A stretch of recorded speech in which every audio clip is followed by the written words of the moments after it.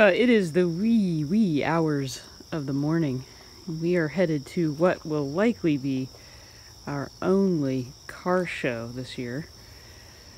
Everything's loaded up. I said we're the only folks with one kid taking three rides, but he insisted.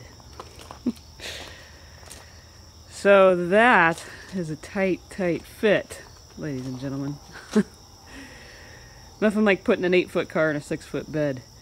But we got it in there. I uh, hope it stays in there because if it comes out, anything behind it's gonna die because it weighs uh, a lot. And then I've thrown the jack and his other ride in my trailer.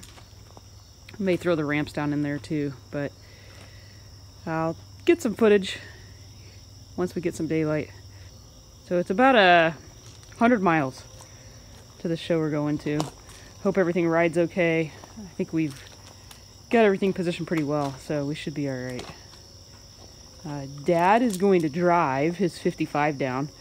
That's part of the reason we're having to leave so early, because his top speed's about 50, because he's got a 36 horsepower, and he's pulling a trailer, so.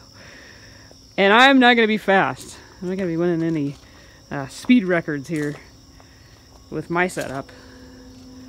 I don't want to go fast anyway, because if that gets out of control, we're going to be in real trouble. So getting that up there is a, is a lot of work.